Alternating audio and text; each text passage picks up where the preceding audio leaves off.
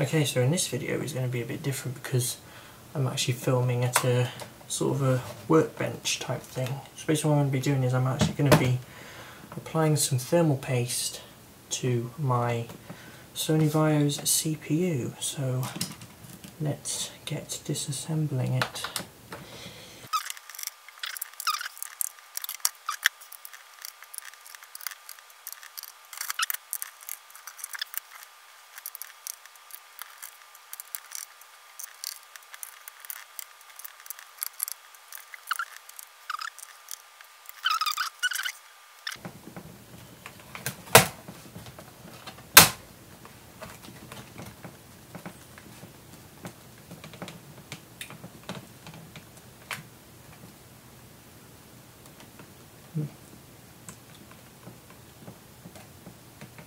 Oh, forgot one.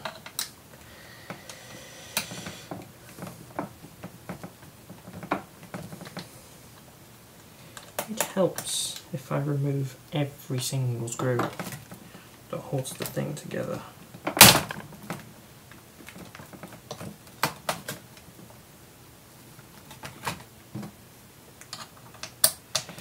Yep, that helps greatly.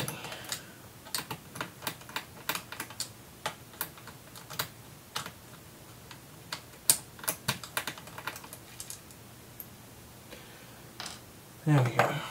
And that should just come away now. So I can just pop that to one side. And then we now have access to the CPU cooler. Now to gain access to the cooler I just need to remove this screw here.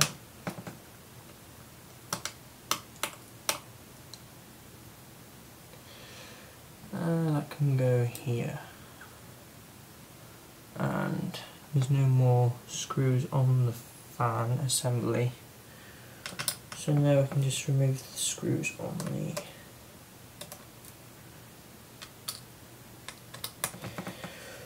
on the CPU cooler itself which is where the CPU is located.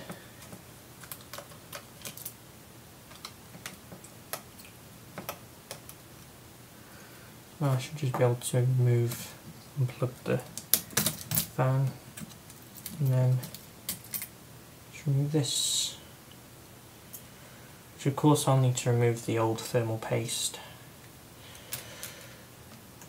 So to do that I'm going to need a piece of tissue and some isopropyl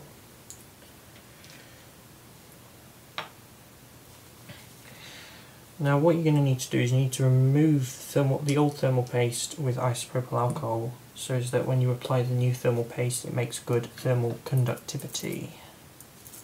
So if I just remove this now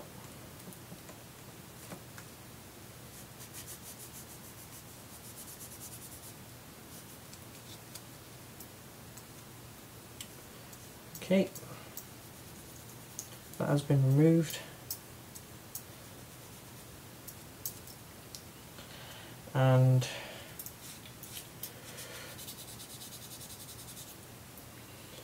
we can also remove the uh,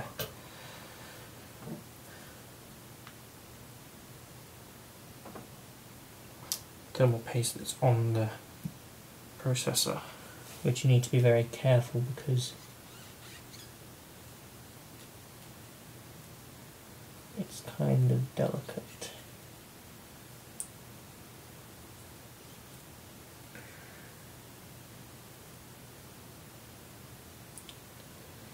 Okay. So, once we've done that, we can now take our thermal paste and we will apply a generous amount and get the thing open.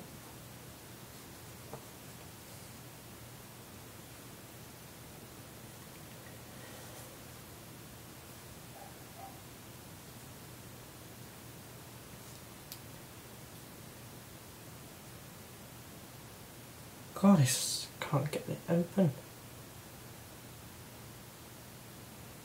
Really won't open. Um, bear with me a sec. It's like this stuff is literally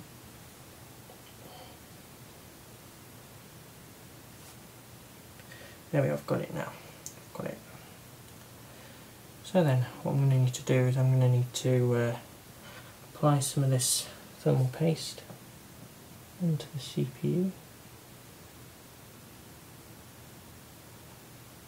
make it a generous amount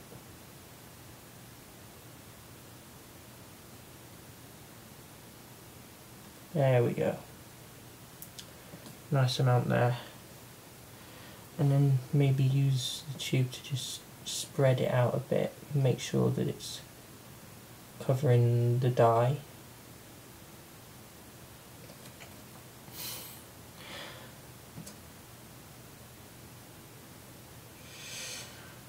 Maybe it'd be a good idea to get rid of some of the excess, which Thermal paste isn't conductive, but I always like to make sure to remove excess.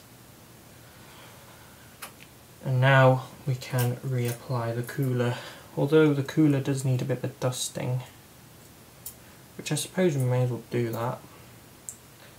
So just remove some of the dust that's on the heatsink there.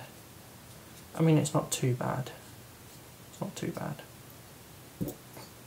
I mean, I can see through the heatsink thing fins just fine. So now just assemble the heatsink back onto the motherboard, making sure that everything lines up properly and it makes good contact with the microprocessor. And when tightening the screws, it's good to do it in a diagonal pattern. So tighten this screw here, and tighten this screw here. So then you know that it is firmly secured. And this one I believe was here. And now we can reassemble the whole computer.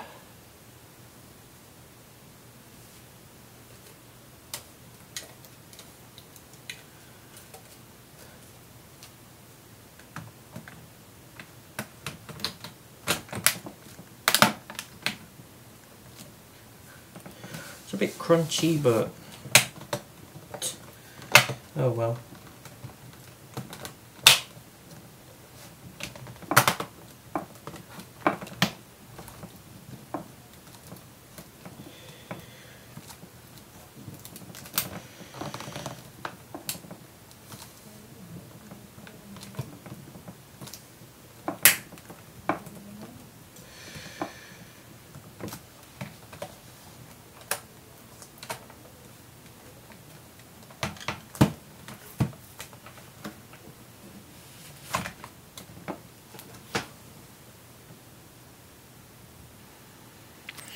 So then I have successfully replaced the thermal paste in this CPU and uh, yeah it seems to work fine now. I would assume that the response times are going to be quite fast because the CPU will no longer be... oh, and the battery's about to die. Well that's kind of useful so yeah I guess thanks for watching and I'll see you soon. Bye.